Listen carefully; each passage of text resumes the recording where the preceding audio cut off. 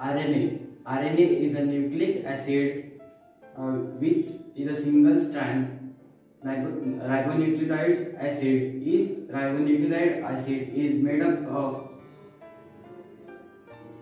ribosome sugar, nucleus, phosphate and nitrogenous base. Nitrogenous base are of four types: adenine, guanine, cytosine, and uh. RNA is in uh, both nucleus and cytoplasm.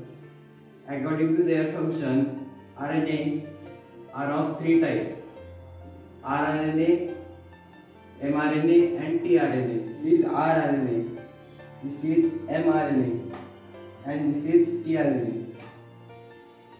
First, rRNA.